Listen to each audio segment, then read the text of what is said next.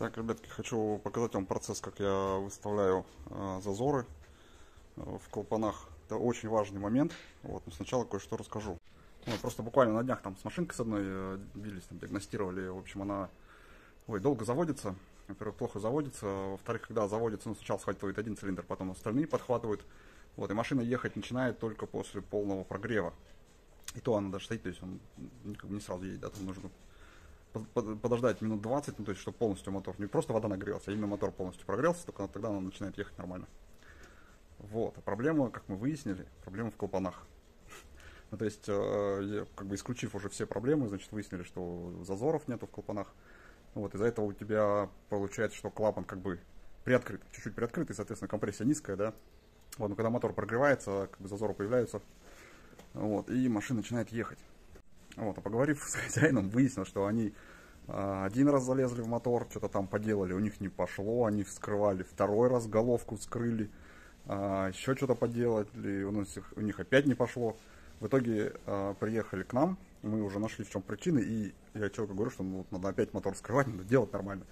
Он говорит, о, нет, мне на него пофиг, я, короче, пойду лучше какую-нибудь головку найду. Ну, то есть человек уже вот третий раз пойдет, опять что-нибудь сейчас поделает, и нифига не получится.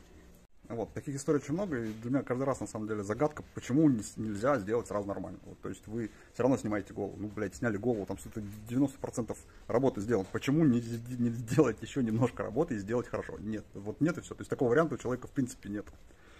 Так, ну давайте уже перейдем ближе к делу, значит, к настройке конкретно зазоров.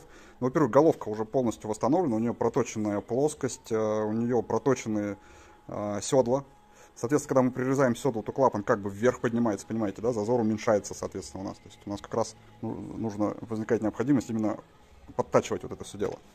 Вот, что нам, в принципе, в работе как раз помогает. Потому что все эти толкатели, они, вот, бэушный толкатель, он, э, так, фокус, он изношен как бы сверху, да, видно, там вот выемка посередине, он уже плоскости нету, он изношен изнутри. То есть там вот э, клапан пробивает как бы такую дырочку внутри. Вот, соответственно, все это нужно восстанавливать и одновременно делать э, зазоры, да, подбирать. А, мы, соответственно, делаем плоскость сначала сверху, то есть восстанавливаем всю эту поверхность рабочую. Вот, потом я на станке уже вот тут зажат, да, вот так вот зажимается толкатель. А, фрезы, вот, фрезы исключительно твердосплавные, то есть это не сталь, это ой, карбид титан, он, по-моему, называется этот материал, а, очень прочный, только он берет, только с помощью его можно точить вот этот материал, потому что металл здесь очень-очень прочный. Вот, значит, примерно стачиваю там внутри, как бы первый раз на глаз, да, вот оно насточено, просто чтобы вывести плоскость. Так, и, соответственно, на станке выставляю 0, то есть в этом месте ставлю здесь нолик, ну, она крутится, как бы опускается, да, там ставлю 0.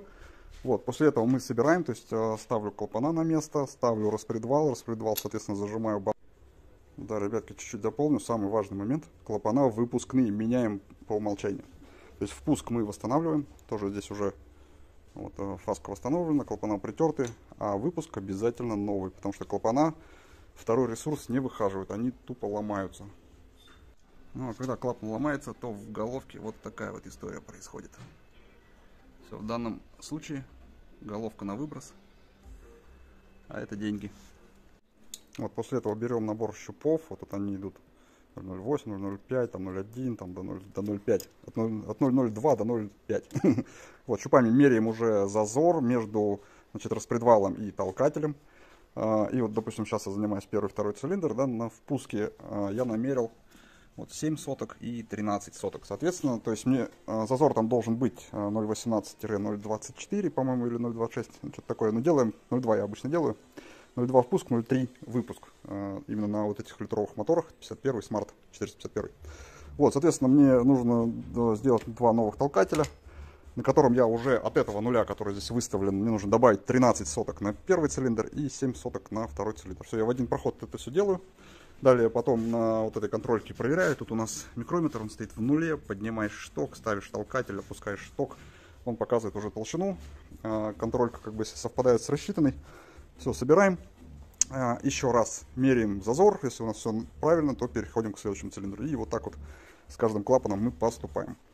Так, ну и добавлю, что вот э, на головку на 451 мотор у меня уходит где-то примерно 2 часа, а то и 3 иногда, именно на настройку зазоров. Да?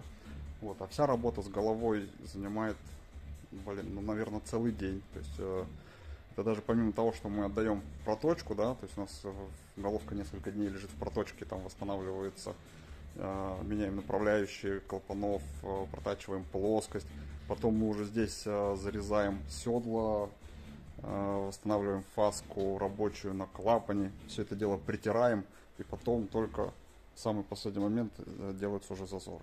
Представляете, как много работы.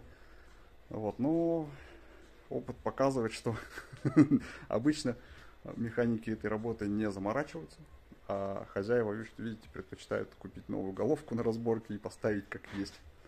Вот. Поэтому моторы после нашей капиталки, ребятки, ездят намного лучше, чем вот чем, чем моторы, собранные кем-то другим.